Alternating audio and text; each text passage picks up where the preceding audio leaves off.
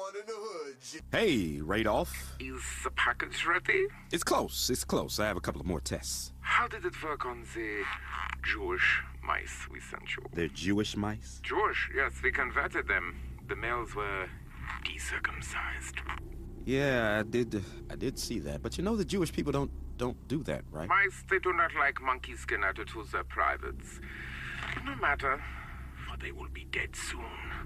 Well, no. They're more like asleep. But it is a deep sleep.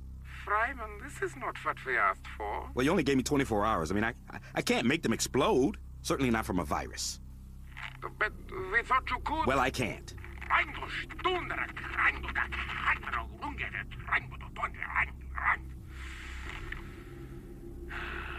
Well, thank you for trying.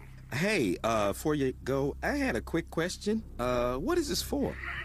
There are no questions. You have your money. Deliver the package at once. What, what's that behind you? Is that a map of Israel? I said no questions. You know what? Transmission over. You. The Freiman is so stupid. When I said no questions, he has questions immediately, as if I did not say that. I clearly said it. You heard me, right? Come on. Yeah, you said that. I know I said it. Ah, turn off these lights. Get this microphone off me. I want to play Wolfenstein. Und Strom der Bedrängung. Oh, Can't